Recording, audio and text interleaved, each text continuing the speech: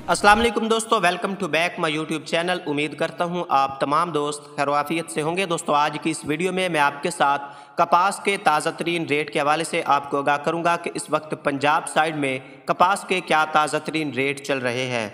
जी हाँ दोस्तों, आज हम बात करेंगे 19 अगस्त 2024 को कपास की ताज़ा तरीन कीमतों के हवाले से कि कपास की नई कीमत में कितनी हुई है, कमी या हुआ है इजाफा।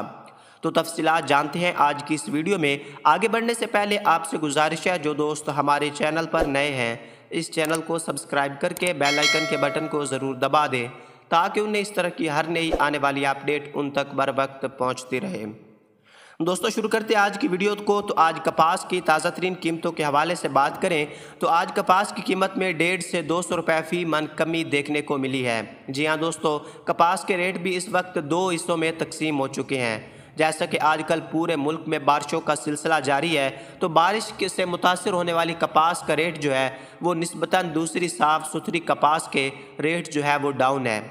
सबसे पहले बात करते हैं बारिश से मुतासर कन जो कपास है, उसके रेट के हवाले से तो छः हज़ार तीन सौ रुपये से लेकर सात हज़ार एक सौ रुपये फ़ीमन रेट चल रहा है, जबकि बारिश से नामुतासर होने वाली कपास का रेट सात हज़ार नौ सौ रुपये से लेकर आठ हज़ार छः सौ रुपये तक फ़ी मन चल रहा है।